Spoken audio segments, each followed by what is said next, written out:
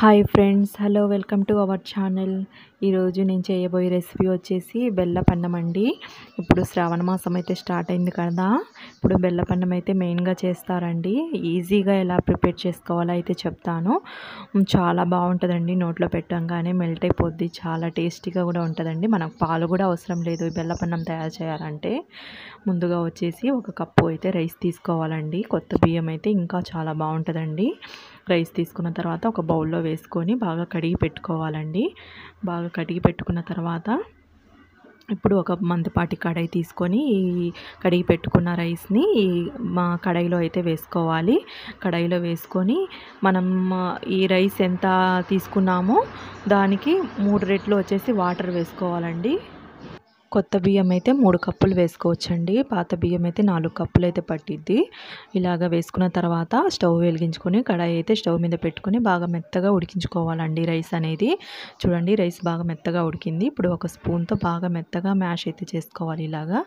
మెత్తగా గుజ్జులాగా చేసుకోవాలండి.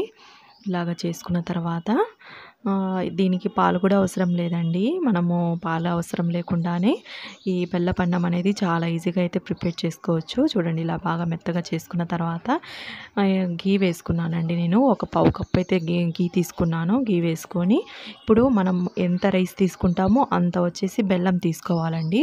నేను ఒక కప్పు రైస్ తీసుకున్నాను కాబట్టి ఒక కప్పు బెల్లం అయితే తీసుకున్నాను. ఈ బెల్లం మెల్ట్ అయ్యేంత వరకు బాగా సిమ్లో పెట్టేసుకొని బాగా కలుపుకుంటూ ఉండాలండి.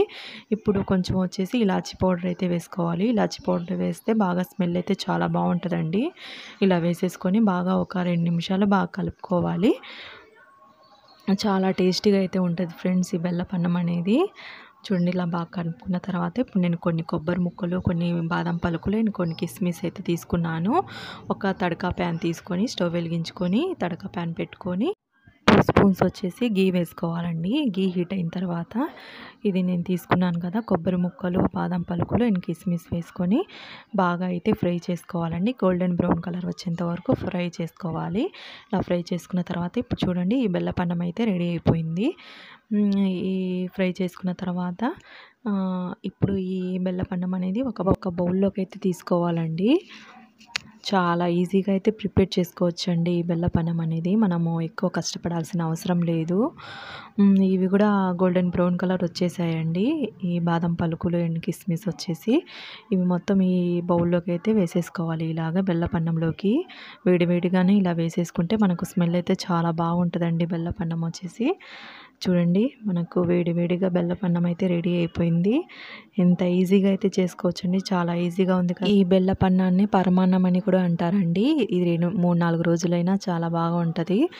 ఏం చెడిపోదండి మనం పాలు వేసుకోలేదు కాబట్టి. నా వీడియో నచ్చిందా ఫ్రెండ్స్ మీకు? నా వీడియో నచ్చినట్లయితే నా వీడియోకి అయితే లైక్ ఇవ్వండి. నా ఛానల్ని సబ్స్క్రైబ్ చేసుకోండి ఫ్రెండ్స్. Thanks for watching.